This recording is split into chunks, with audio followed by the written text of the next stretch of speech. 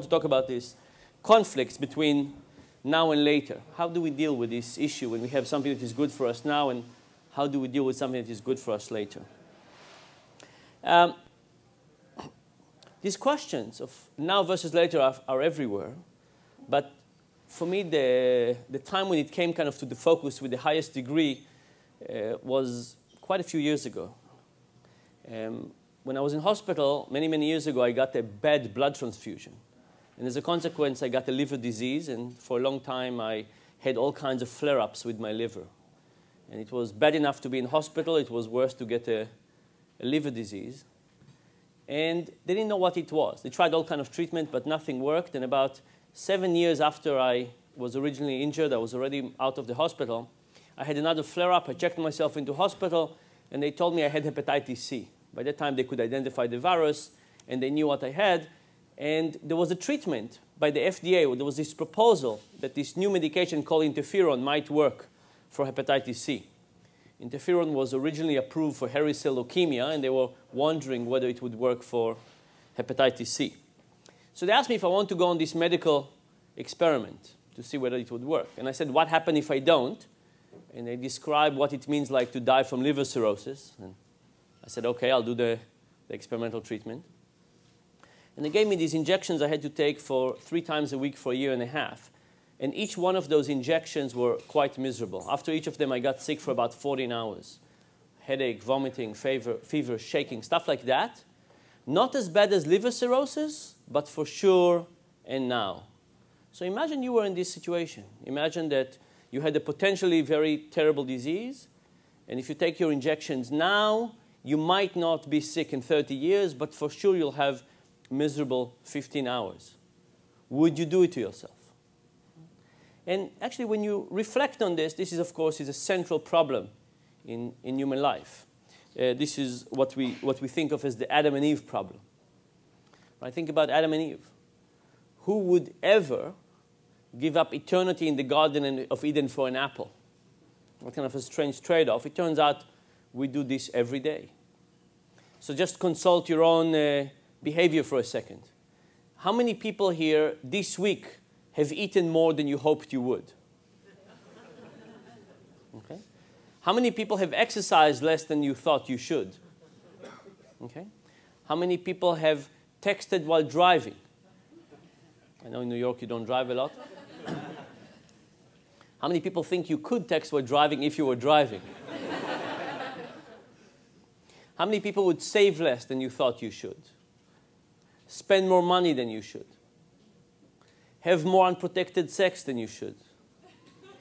Nobody. That's very good. so, on many of those activities, aside from one, you report to not doing that, that well. Um, and if you think about it, this is a very basic problem that we have in our lives. There are things that are good in principle in the future, and there's things that are good now in the present, and they're not the same, and in fact, in their contradicting each other very often. So consider the following framing. Imagine I said, what would you rather have? Half a box of chocolate now or a full box of chocolate in a week? imagine I passed the chocolate around so you could see it and you could smell it. It was just here. And you had the choice between half a box of chocolate now or a full box in a week. How many people here would wait another week for another half a box of chocolate? Okay, few souls, and I assure you that if we actually pass the chocolate around, it will be fewer of you. But most people, but most people say, give me the half a box of chocolate now. Few people say, give me the full box in a week. Imagine I choose, I push the choice to the future. And I say, what would you rather have? Half a box of chocolate in a year or a full box of chocolate in a year and a week? Now realize that it's the same exact trade-off because the question is, would you wait another week for another box of another half a box of chocolate? But how many people would wait now? Right? Everybody. Why? Because in the future we are wonderful people. Right? we will exercise, we will diet, we will save, we will not text while driving. In the future we are wonderful people. The problem is we don't get to live in that future. We get to live in the present, and in the present we fail to temptation over and over. Anyway, fast forward a year and a half, I took this medication. Uh, I beat the disease. I was cured. That was good news. The medication was approved by the FDA. That was also good news. And they also told me I was the only patient in this protocol that took the medication on time, every time. And the question is why?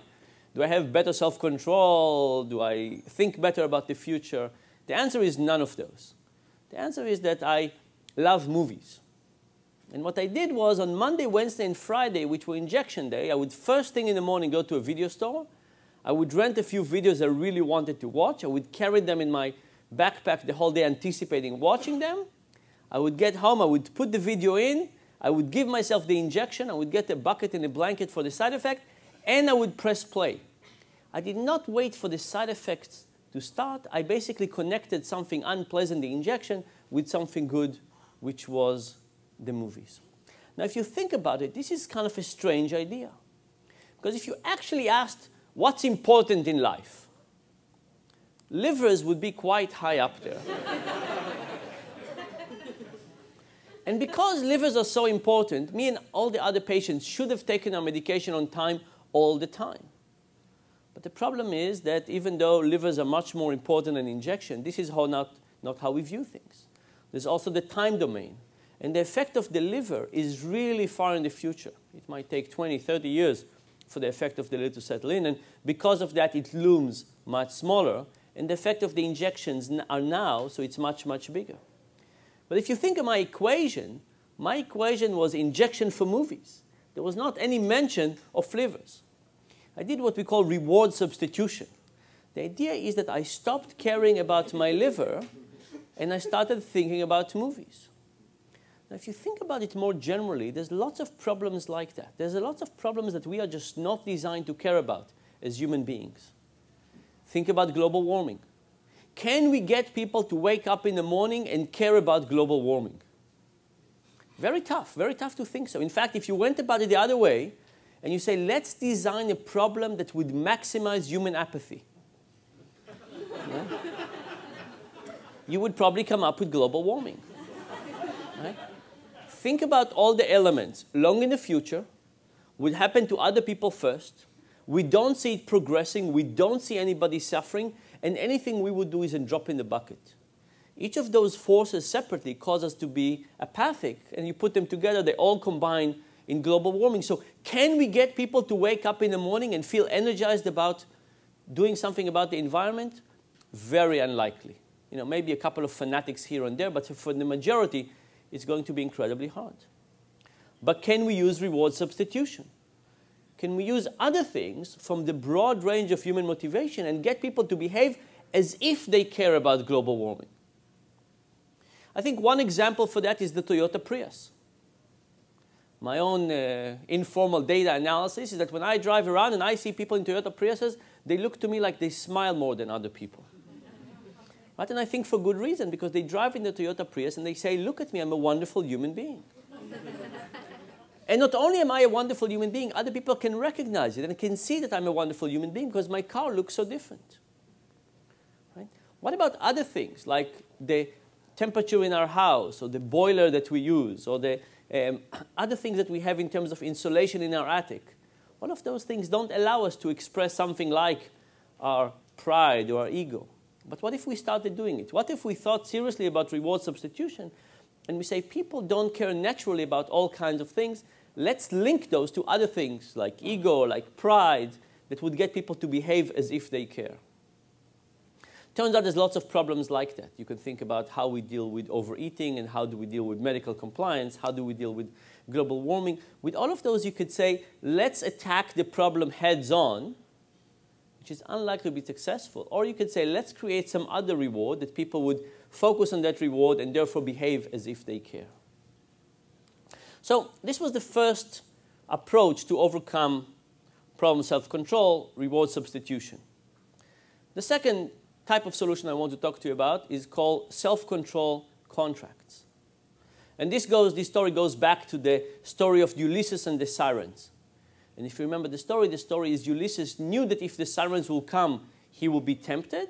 So he asked the sailors to tie him to the mast, and he asked the sailors to put donag in their ears, so even when the sirens will come, he will not be able to follow on his temptation. If you think about it, that's a very interesting mechanism. It's basically said that we know that we will be tempted. So we are willing to do something to prevent ourselves from being able to fail. Would we do that? So before we think about people, I want to tell you a little bit about rats and pigeons. So imagine you're either a rat or a pigeon, you can choose. And I teach you for a very long time that if you see a green button and you press on it, one second passes and you get one pellet of food. And if you see a purple button and you press on it, you have to wait 10 seconds and then you get 10 pellets of food. And you learn this for a very long time until it's very clear to you what's green and what's purple. And then all of a sudden I put them together. And I say, what do you want, green or purple? And just so you realize, 10 seconds for a rat is like a week for us. It's a really long time. So what do you think they do when you give them this choice, one next to each other? Do they have the patience to work, wait for the purple button? No. They choose for green, they get one pellet of food, they forego the 10. It actually gets slightly worse. The trial starts, the purple button appears. The rat or the pigeon press on the purple button. A second passes, then the green button appears. If they could just hold off and not press on anything, in nine seconds they will get 10 pellets of food, but can they hold off? No. They succumb to temptation, they press the green button, they get one pellet of food and forego the 10 pellets of food. Here's the most interesting version. The trial starts, the purple button comes, they press on it, a second passes, and the red button comes. And the red button is not connected to food. And rats and pigeons don't enjoy pressing buttons. but if they press on this red button, the green button will not show up. This is the Ulysses contract. This is kind of the rat or pigeon saying to themselves, I can exert effort here. I can do something I don't like, but it will prevent me from being tempted in the future. So, what do you think? Would rats and pigeons be insightful and uh, have enough intuition to press the red button? Hard to imagine, but they do. Not all the time, but they do. And I think this is incredibly optimistic. Because, first of all, if they can do it, maybe we can do it too. But the second thing is it's all about including red buttons. If you take a rat or a pigeon and you face them to temptation, they will fail. By the way, the same thing works for us. If you, we're going to do an experiment after this session is over. There's wine and cheese and uh, some other food out there, and I'll see how well you could be tempted. Um, when we are tempted with anything that is uh, good for us in the short term but not good in the long term, there's a good chance we would fail. But what if we created red buttons? What if we created these mechanisms that basically eliminate temptation from coming our way? Would we be able to overcome temptation? I'll show you a couple of those examples. This is a, an alarm clock designed one of the students the, by one of the students in the Media Lab. It's called Clocky. And Clocky is a clock with two big wheels that run in slightly different speeds. Now, when you go to sleep at night and you set up the alarm clock to go up at 6 o'clock in the morning, in your mind, you're the kind of person who wakes up early and go for a run before you go to work. And then 6 o'clock in the morning runs along, and you are no longer that person. You're the kind of person who stays in bed a little longer and barely make it to the office on time. But if you have Clocky, Clocky starts running around the room in unpredictable ways making noise, running around, and by the time you find it, you have to get up, you have to crawl under furniture, you have to find it. By the time you find it, you're awake. By the way, one of the interesting design flaw of Clocky is that by the time you find Clocky, you're also very pissed. So there's lots of pictures on the web of Clocky with wheels torn off. Um, but there's a new version of Clocky under development with no moving parts, so you can't, uh, you can't uh, destroy it. Another version I like even more is an alarm clock called Snooze and Lose. And it's an alarm clock that is connected to your bank account.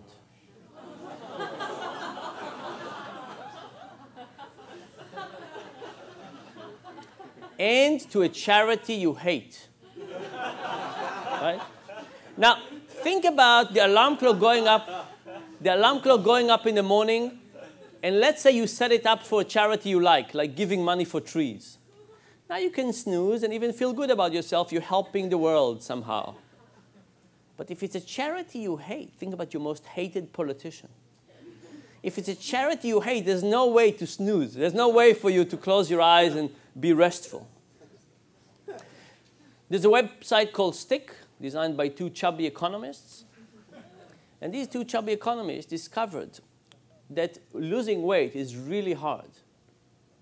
So what they did was they bet against each other lots of money. And they said if we don't lose a particular amount of weight, the other person would get all this money. Now, when you do these bets, you can't bet with somebody you like.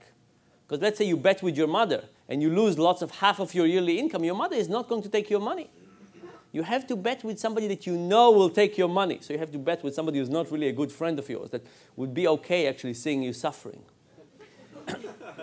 And stickK allows people to basically create contracts against ourselves. Many of my students use this to create contracts against seeing, uh, using Facebook too often. There's lots of things like that that this is helpful in terms of regulating our behavior. I'll tell you one, uh, one last story about this. There was a program in Denver called the Denver Drug Program. And this was a program that approached heroin addicts. They approached heroin addicts and they asked them, Do you want to be a heroin addict? And most people say no. The life of a heroin addict is not a particularly good, good life. And then they offer these people a deal. They say, hey, why don't you write a letter, a self incriminating letter about your drug pro problem? And please address this letter to the person you fear most will find out about your drug addiction. So in my case, I would write a letter to my mother. I would say, Dear mom, I'm really sorry to tell you I have a heroin habit. Love, Dan. And then this organization will take the letter, they would fold it, they would put it in an envelope, they would write the address, they would put a stamp, but they would hold it in trust. And they would come from time to time and they will check whether I have any residues of heroin in my blood. And if I ever had any residue, they will mail the letter away. Now think about what this mechanism is. It's about creating a punishment that is so big that hopefully even in moments of craving, it would control people's behavior. In a moment of clarity, when people don't want to be heroin addicts, they can basically create these mechanisms. And then the question is, will that mechanism control them when they're in craving? So what do you think happened when people got into drug craving? They went to these organizations that we want out. And this organization said, fine, in three weeks. But now we know you're craving and we will test your blood every day. Right? So if you think about it, this is an incredibly powerful mechanism. This is the idea that we can create a punishment that is so big that even later on, when we're tempted, we will not be able to act on our temptation. But by the way, eventually they had to cancel this program, mostly because of violation of human rights. Because you can see how these mechanisms are actually kind of tricky in terms of human freedom. How do we think about a mechanism that its only way of effectiveness is to be so powerful that it's big and strong and the only, the only way to get it is so people cannot change their mind afterward. We recently, by the way, tried another version of those things. It turns out in the history of mankind, no men have ever woken up in the morning and say, today I feel like colonoscopy. so what do you think men do on the days when they have colonoscopy scheduled? They don't show up. They find other things to do. So we said, what if we allow people, when you schedule for them a colonoscopy way in advance, you say, why don't you write us a check for $500? And if you show up on time, we'll give you the money back. And if you don't show up on time, you lose the money. Now, this is a, an offer that people can, at best, lose nothing or they can lose. There's no way to win anything here, but more than 50% of the people take that. Why? Because we know that when we will wake up four months in the future, we would not feel like colonoscopy. But we also know that we will not feel like losing our money. And maybe if we put enough money down, that fear and annoyance of not losing money would actually force us to behave in a way that is good for our long-term well-being. So what is the general point? The general point is that we have lots of Adam and Eve problems. And by the way, we're only getting more of those. There was a recent analysis that asked the question of why people die and what percentage of these mortalities are caused by bad decision making. And about 100 years ago, the percent of deaths that you could attribute to bad decision making was about 10%. Mm. Think about 100 years ago, what mistakes people could make that would kill themselves. You push a rock on yourself, I mean, all kinds of things like that. In 2007, it was about 45%. Why? Because as we invent new technologies, we also invent ways to kill ourselves. Right? smoking, diabetes, obesity, texting while driving. Think about all the things that basically we create that tempts us to behave badly. Driving. And all of a sudden, when we have one deviation from it, it can have tremendous devastation. And you know what? The nature of technology is technology is going to become more and more tempting, not less and less tempting. What do you think is going to be the next version of the donut? Is it going to be a less tempting donut or a more tempting donut? Probably a more tempting donut. What do you think is going to be the next version of Facebook? Is it going to tempt us to visit Facebook more frequently or less frequently? Probably more frequently. All the, all, all the commercial world around us wants our time, our attention, our effort, our money right now. And because of that, we need more and more ability to self-control, and we have less and less of it. So we have lots of Adam and Eve problems, and we're just going to have more of them with time. And in principle, it would be nice if each of us could come up with our own Ulysses solutions. If for each area of our life, when we face temptation, we could come up with it. Sadly, this is not that easy. Uh, but thankfully, there are ways to do it. I think there's all kinds of opportunities for hardware, like alarm clocks, and software, like stickK, and all kinds of mechanisms that basically understand where we fail from temptation and try to help us a little bit overcome these temptations. And, and I think if we do that, if we actually think about where we fail, there's a good way to think about how we overcome these temptations. But the first step is really to understand how we fail. Um, so that's what I wanted to say. Thank you very much for your attention. You're on.